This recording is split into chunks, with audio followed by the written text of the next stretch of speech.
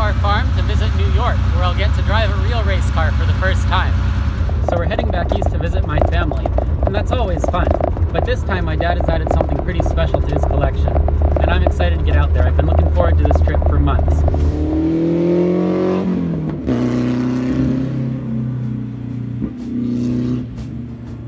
Is a mid-1980s Renault Spec Racer, but in 1995 a previous owner upgraded it to the Spec Racer Ford configuration with a 1.9 liter engine. My dad discovered it on eBay, and I was amazed at how much race car you can buy for about the same price that we paid for our decade-old used family minivan. Now, I've run decent performance vehicles before, but I've never run a pure race car. I've never had to deal with tires and brakes needing to warm up, I'm expecting it to be brutal and rough and possibly a little scary. I also want to talk about this car's owner. See, that's my dad, and here's why this matters. When I was eight, he sold his Project RX-7 so that we could buy a Microd for me to start racing. In addition to all the weeknights that he put in to keep that car prepared, and every Saturday night that he spent at the races with me. Then he finally got his Factory 5 Cobra, which not too many years later he ended up selling so that my sister could go to school and to get me into flying, which was my obsession. Now finally when I've graduated from school, I still knew he wanted a track car, and he had purchased the 911, which he ended up sending me as a birthday surprise. Basically, my dad has been wanting to race for 15 years, but he keeps putting us first. Finally, it's his turn. So since I haven't said it enough, thanks Dad for all those years, and I hope you enjoy your turn racing now.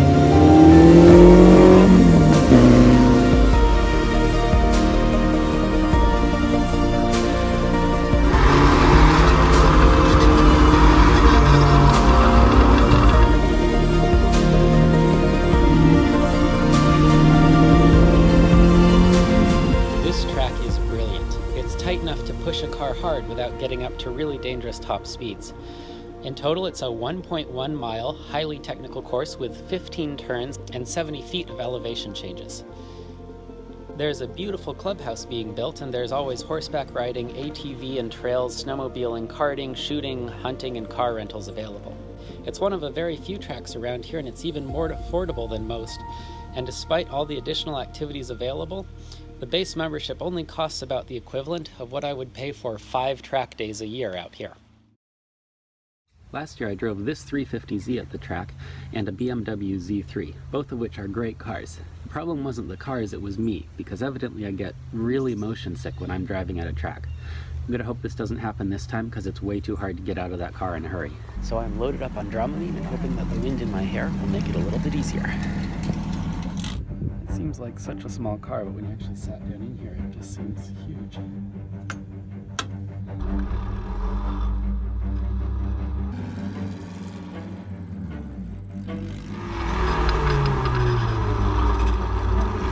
After trundling around for a lap, I'm quickly finding that this thing is amazing. It inspires confidence like nothing I've ever driven.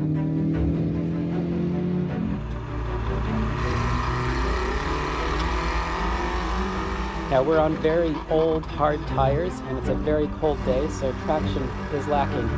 But even so, the steering response is so quick for any corrections. Within a few laps, I felt very comfortable with it. As it turns out, maybe I was feeling a little too comfortable.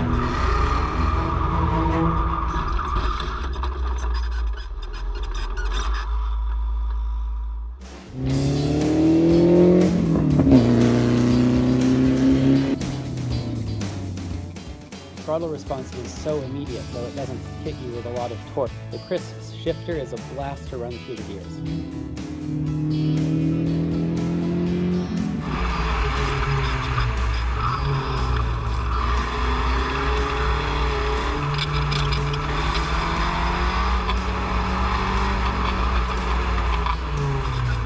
The 911 has a similar steering feel since it also doesn't have power steering, but the Spec Racer's steering rack is so much tighter with such a fast response.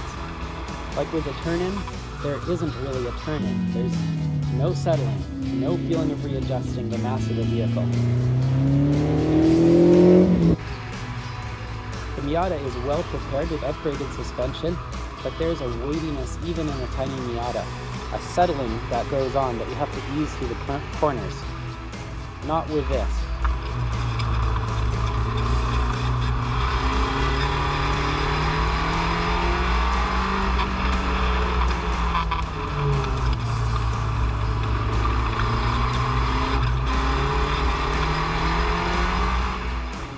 First to admit that I'm no great race driver. As you can see, my inputs are not smooth. And by the end of the day, I felt like I was finally able to catch up with the car enough to start playing with cleaning up the racing lines. But I can't imagine how fun it would be to spend enough time behind the wheel to actually get smooth and drive it properly. Now as to that brutality I was expecting, there really isn't any. Sure, it's a little coarse, but it really invites you to be one with the car pretty quickly. My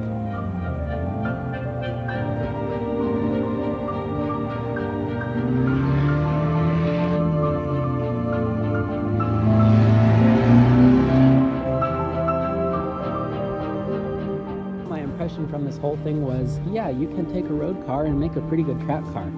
But why would you? Because you'll probably pay more for you're still only getting a taste of what it feels like to drive a real purpose-built car like this.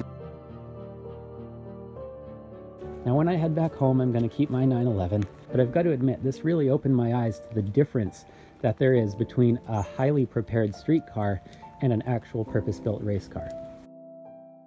What an incredible day. Driving that car is unlike driving a normal car. And going from that to this and then back from the Miata to that is something else. What a blast. Fun day.